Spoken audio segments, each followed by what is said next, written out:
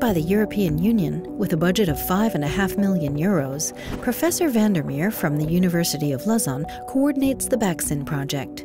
The research in my group is uh, what we call environmental microbiology. So we are primarily concerned with how bacteria can degrade uh, toxic compounds, pollutants in the environment, a number of bacteria are indeed capable of feeding on toxic constituents, therefore deteriorating pollutants in a natural way. The objective of this research in microbiology is to get a better understanding of how these bacteria work with a view to use them on a large scale. The project BACSIN is actually a project that tries to understand how to apply bacteria that you find naturally, grow them up in much higher amounts so that they can actually speed up the degradation of specific pollutants in sites that are very heavily contaminated.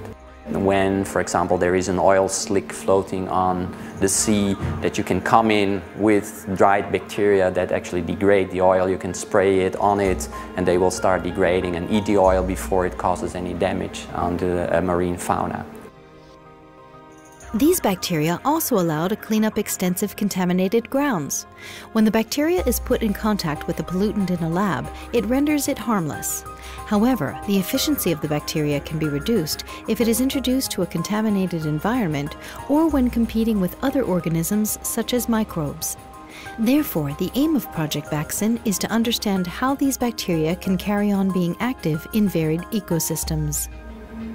Organizing a project and coordinating a project like BACSIN with 16 partners is, is quite a lot of work in terms of administration. Uh, on the other hand, I find that it's extremely rewarding as a project because with these amount of partners, you see the benefits of having different points of view on such a complex topic. And finally, for the students who work in the project, it's extremely interesting because this permits them to build like a network that helps them in their future career.